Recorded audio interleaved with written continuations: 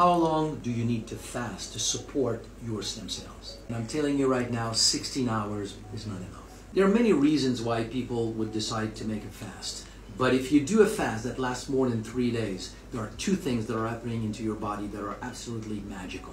Number one, you put more stem cells in circulation.